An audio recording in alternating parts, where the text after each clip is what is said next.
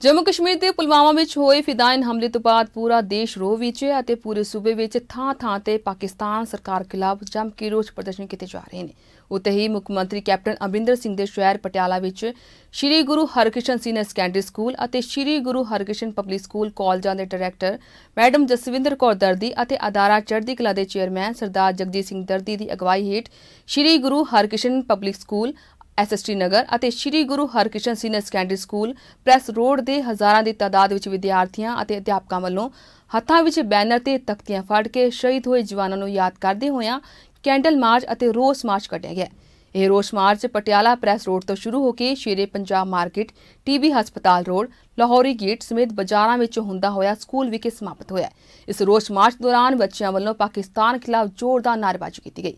ਇਸ ਮੌਕੇ ਮੈਡਮ ਜਸਵਿੰਦਰ ਕੌਰ ਦਰਦੀ ਤੇ ਸਰਦਾਰ ਜਗਜੀਤ ਸਿੰਘ ਦਰਦੀ ਨੇ ਜਾਣਕਾਰੀ ਦਿੰਦੇ ਆਖਿਆ ਕਿ ਅਸੀਂ ਮਾਣ ਮਹਿਸੂਸ ਕਰਦੇ ਹਾਂ ਕਿ ਜੋ ਜਵਾਨ ਦੇਸ਼ ਦੀ ਸਰਹੱਦਾਂ ਤੇ ਰਾਖੇ ਨੇ, ਸਾਨੂੰ ਉਹਨਾਂ ਤੇ ਮਾਣ ਮਹਿਸੂਸ ਹੁੰਦਾ ਹੈ। ਇਸ ਤਰ੍ਹਾਂ ਦੀਆਂ ਘਟਨਾਵਾਂ ਹੋਣੀਆਂ ਬਹੁਤ ਹੀ ਮੰਦਭਾਗੀ ਗੱਲ ਹੈ।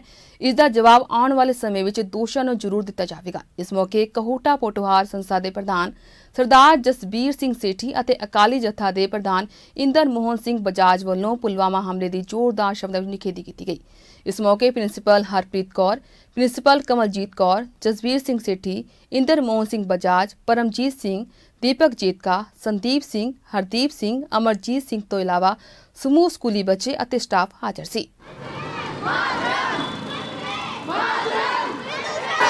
इंडियन आर्मी जिंदाबाद इंडियन ਅੱਜ ਕੇਵਲ ਹਿੰਦੁਸਤਾਨ ਵਿੱਚ ਹੀ ਨਹੀਂ ਸਗੋਂ ਸਾਰੀ ਦੁਨੀਆ ਦੇ ਵਿੱਚ ਪਾਕਿਸਤਾਨ ਦੀ ਦਹਿਸ਼ਤਗਰਦੀ ਦੇ ਖਿਲਾਫ ਰੋਸ ਹੈ ਸਾਡੇ ਹਰਮਨ ਪਿਆਰੇ ਫੌਜ ਦੇ ਜਵਾਨਾਂ ਨੂੰ ਜਿਸ ਦਰਿੰਦਗੀ ਦੇ ਨਾਲ ਦਹਿਸ਼ਤਗਰਦੀ ਦੇ ਨਾਲ ਸ਼ਹੀਦ ਕੀਤਾ ਗਿਆ ਹੈ ਉਸ ਦੀ ਦੁਨੀਆ 'ਚ ਵਸਣ ਵਾਲਾ ਹਰ ਅਮਨ ਪਸੰਦ ਇਨਸਾਨ ਨਿਖੇਧੀ ਕਰ ਰਿਹਾ ਹੈ। ਸ੍ਰੀ ਗੁਰੂ ਹਰਕ੍ਰਿਸ਼ਨ ਪਬਲਿਕ ਸਕੂਲ ਦੇ ਬੱਚੇ ਦੇਸ਼ ਭਗਤੀ ਦੇ ਜਜ਼ਬੇ ਨੂੰ ਪ੍ਰਗਟ ਕਰਦੇ ਹੋਏ ਤਿਰੰਗੇ ਝੰਡੇ ਅਤੇ ਕਾਲੇ ਝੰਡੇ ਲੈ ਕੇ ਆਪਣੇ ਦੇਸ਼ ਦੀ ਸ਼ਾਨ ਨੂੰ ਉੱਚਾ ਕਰਨ ਲਈ ਇਹਨਾਂ ਦੁਖੀਆਂ ਦੇ ਖਿਲਾਫ, ਦੁਸ਼ਮਣਾਂ ਦੇ ਖਿਲਾਫ ਰੋਸ ਪ੍ਰਗਟ ਕਰ ਰਹੇ ਹਨ। ਮੇਰਾ ਵਿਸ਼ਵਾਸ ਹੈ ਕਿ ਛੋਟੇ ਛੋਟੇ ਬੱਚਿਆਂ ਦੀ ਆਵਾਜ਼ ਹਰ ਘਰ ਵਿੱਚ ਜਾਏਗੀ ਅਤੇ ਸਾਰਾ ਦੇਸ਼ ਇੱਕ ਮਿੰਟ ਹੋ ਕੇ ਅੱਤਵਾਦ ਦਾ ਮੁਕਾਬਲਾ ਕਰੇਗਾ।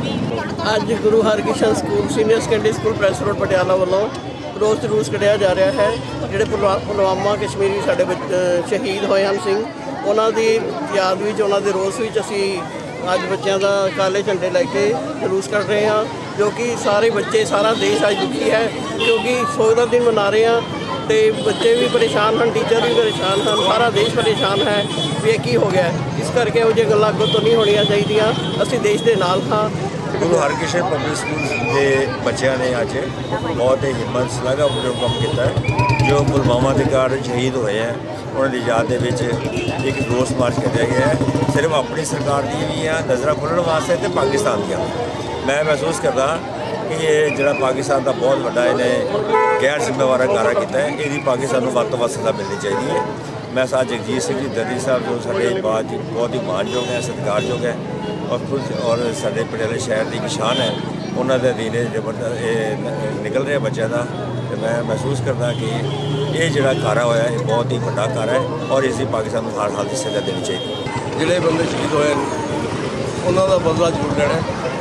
ਤੇ ਸਾਰਿਆਂ ਦੀ ਇਹ ਆਵਾਜ਼ ਹੈ, ਇਸ ਜਿਹੜੀ ਦੁਖਵਾਈ ਕਰਦਾ ਹੈ, ਸਭ ਦੇ ਮਨਾਂ ਦੇ ਵਿੱਚ ਰੋਸ ਹੈ ਤੇ ਹਰੇਕ ਦੀ ਮਨ ਦੇ ਵਿੱਚ ਇਹ ਆ- ਆਵਾਜ਼ ਹੈ ਕਿ ਇਸ ਦਾ ਬਦਲਾ ਜ਼ਰੂਰ ਲਿੱਤਾ ਜਾਏ ਤੇ ਲੈਣਾ ਹੀ ਬਣਦਾ ਹੈ ਜਿਹੜਾ ਅੰਤ ਹੋ ਗਿਆ। ਇਸ ਤਰ੍ਹਾਂ ਜਿਤਨੀ ਮਾਤਰਾ ਦੇ ਬੰਦੇ ਮਾਰਨੇ ਇਹ ਜਿਹੜਾ ਹੈ ਘਰ ਬਿਲਕੁਲ ਘਰੋਂ ਹਰਕਤ ਹੈ। ਬੁਝਦਿਲ ਹਰਕਤ ਹੈ।